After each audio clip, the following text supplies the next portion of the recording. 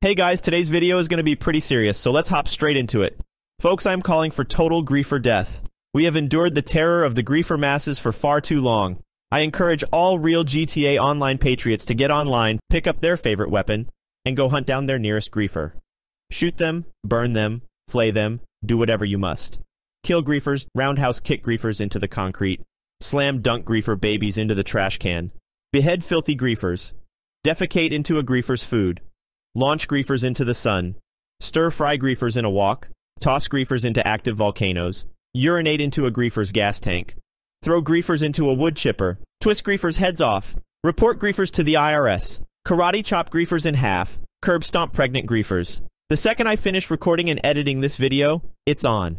No griefers will be left alive in my wake. Their day of reckoning is upon them. I wish every normal, upstanding GTA player good luck and a bountiful griefer harvest. If you enjoyed the video or found it helpful, feel free to leave a like, as well as subscribe to my channel for more GTA Online content, and as always, thanks for watching and have a great day. Whoa. GhillieMaster needs me? Okay, I'll do it.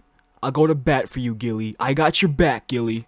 Nah, but on some real shit for a second. Isn't it scary how accurate AI is getting? That wasn't particularly the best example, but you should look up what ElevenLabs, uh, people who use ElevenLabs are doing right now. They got all sorts of like recreations of characters that sound exact. I didn't really try that hard. I, I could have found better clips or whatever, but dude, within just a few years, this is gonna be dangerous. People are gonna, people's lives are gonna be ruined from this stuff. It is quite impressive though. Alright, well if you liked it, give it a like, consider subscribing.